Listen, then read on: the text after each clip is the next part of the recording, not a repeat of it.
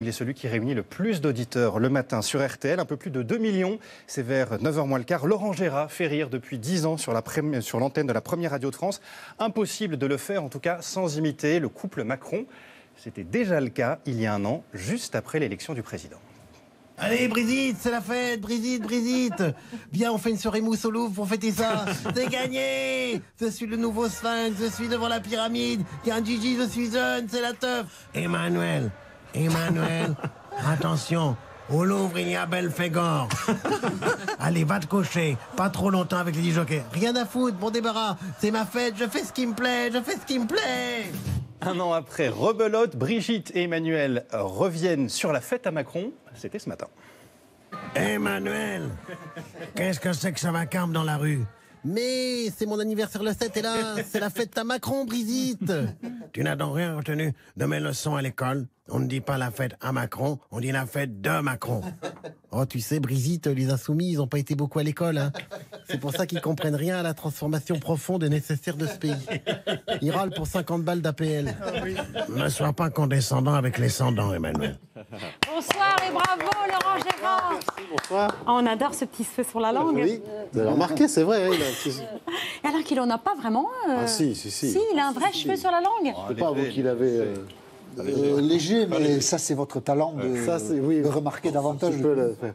D'ailleurs, il se sarcosise un peu, même dans les. Ah hein, oui vous avez remarqué dans les gestes ouais, Vous trouvez pas En fin de phrase, parfois, quand il se non, fait saler, tout d'un il coup, se il sarcosise devient. même dans les déplacements. C'est bon signe, ça Avec les accolades, j'en sais rien. Je suis pas en train de juger. vous, d'accord. Mais vous l'observez de très près Moi, je regarde. Je regarde, j'observe. Voilà, je- Vous écoutez, vous regardez beaucoup Oui, oui. d'Emmanuel Macron pour euh, en faire un résumé. On en voit tous les- beaucoup aussi. oui, c'est vrai. Tous les matins sur RTL, un public de plus en plus nombreux. Mais c'est le couple plus que Emmanuel Macron tout seul qui vous inspire? Oui, c'était marrant de les faire, de faire cette, cette espèce de binôme. euh, euh, effectivement, le- le- les faire chez eux avec le téléphone qui sonne, avec Résidence des Macron, ça nous faisait marrer avec les auteurs de faire ça. oui. Emmanuel Macron, euh, dont la jeunesse évidemment est l'une des aspérités que vous euh, n'avez pas évité de brocarder. Vous l'avez même renvoyé à l'école des fans de Jacques Martin. Oui, car c'est le, président le plus jeune qu'on ait jamais eu. 39 ans, Voilà. c'est ça. Un sketch que vous aviez fait pendant la campagne présidentielle, devant le principal intéressé, qu'on ne voyait pas ni sourire ni pas sourire, parce que son visage n'était pas filmé en gros plan. Ah oui? Mais on va regarder ces images et on en parle. Bonjour et bienvenue au Théâtre de l'Empire pour ce nouveau numéro de l'école des faves.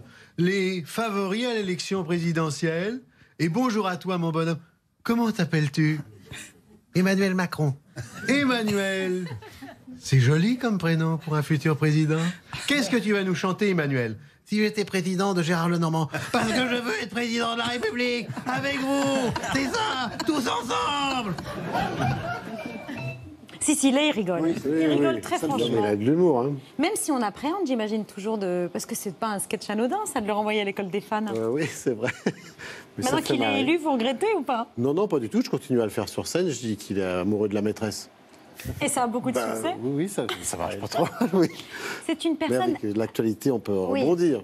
C'est une personne à nuance, vous dites, Emmanuel Macron. Ça la rend plus difficile à imiter que Sarkozy, justement, que c'est, Nicolas euh, Sarkozy. qui non, ils ont tous. Vous savez, on avait dit ça de Hollande. On avait dit que c'était un personnage assez fade et que comment vous allez faire? Et puis finalement, j'en ai fait un personnage assez burlesque avec euh, des attitudes un peu euh, effectivement clownesques. Mais ils ont tous, enfin, ils ont tous quelque chose. Le Premier ministre, c'est plus difficile. Ah oui, Edouard Philippe, c'est un casse-tête. Ouais, c'est plus difficile. Ah, S'il devient président, vous aurez du mal. Il y a les lapsus, les lapsus Il y a des lapsus, oui, oui. Non, mais après, il y a des gimmicks, il y a des choses à trouver. Mais je me suis peut-être pas assez penché sur son cas. L'avantage de François Hollande, c'est que vous pouvez l'imiter sans aucun texte, Oui. uniquement en apparaissant sur scène. Et là, enfin, c'est on hurle de rire et pendant un certain temps, sans que vous prononciez un mot, on regarde.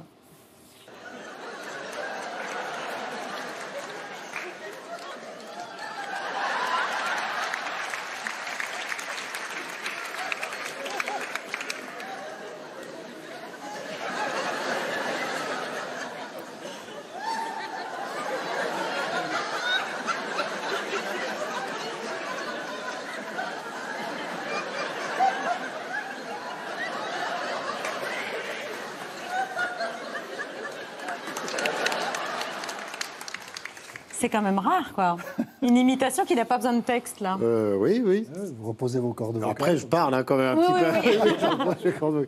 Mais c'est vrai que c'était parti d'une minute. Comme ça, j'avais fait pendant une minute et puis je voyais que bah, Ça réagissait bien. Ça ça. Après, je lui ai mis une chapka parce que chaque fois qu'il allait Ah oui, bien sûr. dans un pays, on lui mettait quelque chose sur la courge ou autour du cou, donc euh, j'en profitais, j'en rajoutais.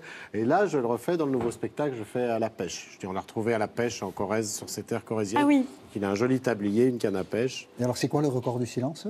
Au début, une minute, et puis après, ça a 7 pu- minutes et demie, presque. 7 minutes et demie. ouais. Incroyable. On vous le réclame, ça. Vous ne pouvez, un vous ne pouvez pas ne pas faire oui. ce tube-là. Oui, mais pourtant, il va arriver par hasard. Est-ce C'est que vous... terrible d'être imitateur et d'avoir son plus grand succès Oui, sans, sans rien dire. sans rien dire. Il l'a vu, ça, vous savez, François Hollande? Il n'est jamais venu vous applaudir Il, m'a dit qu'il l'avait vu parce que, comme il était à la dernière de Michel Drucker euh, au théâtre et qu'il était, il était dans la salle, je l'ai forcément croisé. Il m'a dit qu'il avait trouvé ça assez cruel. Ah oui Je trouve ça bizarre. parce que C'est pas si cruel que ça, c'est non? C'est peut-être cruel de faire rire à ce point malgré lui. Euh, Laurent Gérard, vous restez dîner avec nous. hein. On va continuer à parler de Sans modération, ce spectacle qui est en tournée partout dans- en France, Oui. qui continue sa, sa belle histoire. Euh, merci beaucoup Bertrand Delay. Macron président, la fin de l'innocence, c'est ce soir à 20h50 sur France 3. Merci Antonin d'être venu et on se retrouve euh, mercredi. Euh, on a prévu du bon vin bio pour le dîner. Ah. Euh, on sait que vous adorez, ça, vous adorez ça. On va parler aussi de votre passion pour le ski extrême. On a des photos. Et puis on accueille la reine de la soul, la formidable Betty Lavette, qui sera dans un instant sur la scène de C'est à vous. C'est absolument magique. Elle rend hommage à Bob Dylan dans son album. C'est dans un instant sur la scène de C'est à vous. À tout de suite. Keep your eyes wide open. This chance might not come again. Now don't speak too soon.